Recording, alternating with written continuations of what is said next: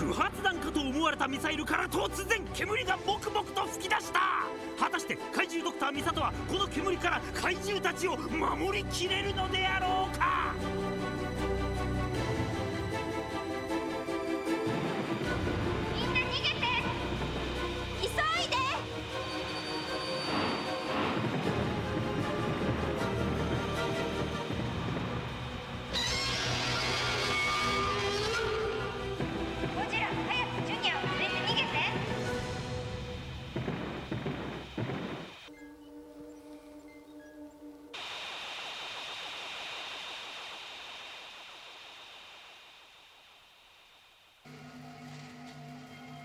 ルーカスあの煙の成分は分析できるか？外に出てサンプルを採取せんことには無理ですわ。サンプルは採取したわ。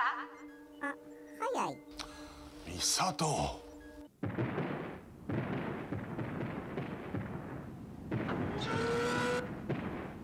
今のところ怪獣たちに異常はないみたい。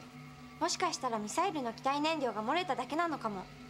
あんまりヒヤヒヤさせないでくれお前にもしものことがあればママに何て言えば。はいはい。とにかくすぐに引き上げてきなさい。了解。なんです様敵はすっかり油断しているようです。はい。あれが地獄の煙とも知らないで。ダンデス様ババルーダの修理完了いたしました。ババルーダ発進。今に見てやがれでございますわ。